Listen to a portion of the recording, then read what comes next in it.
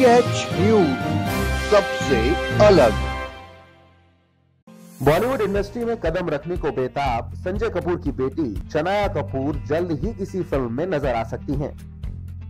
श्रीदेवी की बेटी के डेब्यू करने के बाद लगातार कई फ़िल्म स्टार के बेटे और बेटियों के डेब्यू करने का सिलसिला शुरू हो चला है हम आपको बता दें कि शनाया कपूर स्कूल खत्म करने के फ़ौरन बाद ही फिल्मी जगत में एंट्री कर चुकी हैं। माना जा रहा था कि शाहरुख खान की बेटी सुहाना खान और शनाया कपूर एक साथ डेब्यू करने वाली थी। लेकिन अब ऐसा नहीं होगा। शनाया कपूर सुहाना खान से पहले ही आने वाली किसी फ़िल्म में नज़र आ सकती हैं। तो फिर आप भी देखिए शनाया कपूर की बोल्ड और खूबसूरत तस्वीरें।